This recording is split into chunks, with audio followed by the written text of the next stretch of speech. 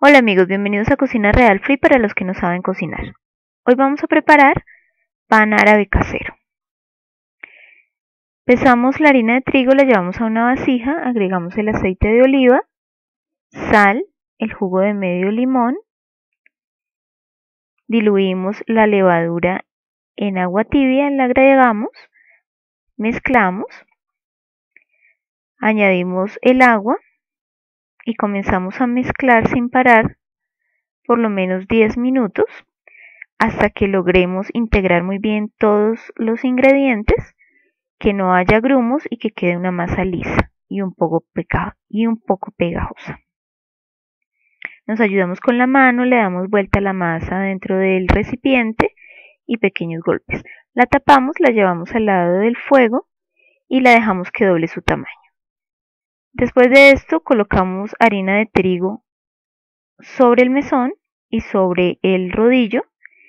Dividimos en dos la masa, retiramos el gas oprimiendo, amasamos y alisamos con el rodillo hasta que tenga un centímetro y medio de diámetro.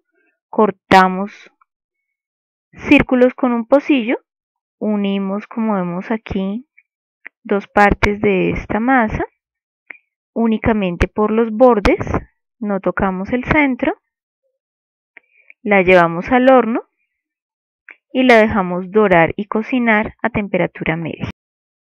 También podemos cortar con cuchillo en la forma que queramos, ovalado, cuadrado, triangular. Colocamos una sartén al fuego. Cuando esté caliente, colocamos allí el pan, tapamos con otra sartén del mismo tamaño, colocamos el fuego a medio y dejamos cocinar hasta que estén dorados. También podemos dividirlo en trozos y colocarlo en horno tostador o en horno convencional. En este caso lo estamos haciendo en horno tostador. Dejamos también cocinar a fuego medio. Aquí ya está el primer pan que hicimos, el redondo, que se parece a un pan pita. Lo abrimos con un cuchillo por el centro y lo rellenamos. Puede ser con falafel o con el relleno que ustedes deseen.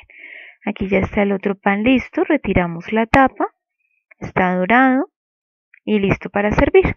Este pan también acompaña muy bien el falafel.